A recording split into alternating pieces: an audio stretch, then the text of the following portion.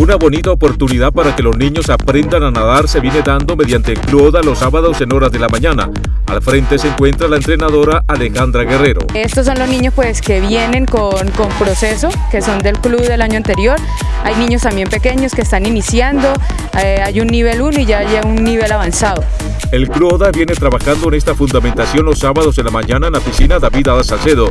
Una bonita oportunidad para que los niños aprendan a nadar y fortalezcan sus conocimientos en los diferentes estilos.